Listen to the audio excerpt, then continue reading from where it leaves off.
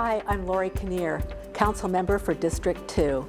Council meeting was lively with the appointment of Breean Beggs to fill Jon Snyder's seat.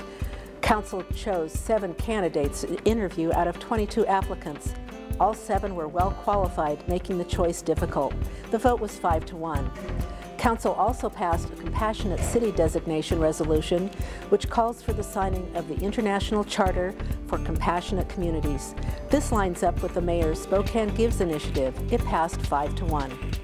The Council passed a resolution stating its support for the redevelopment and revitalization of the Ridpath building and willingness to begin negotiations on a loan agreement using funds from retired federal grant programs for the creation of affordable housing.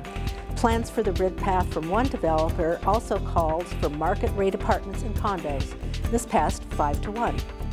Testimony was taken on the first hearing from the pending Spokane Housing Ventures annexation and amending the comprehensive plan to include updated land use designations in the South Legal area.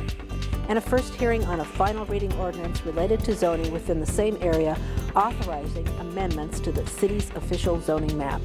Written testimony will be taken until March 14th, at which time additional oral testimony will be heard at that council meeting. Just remember, no council meeting on President's Day, February 15th.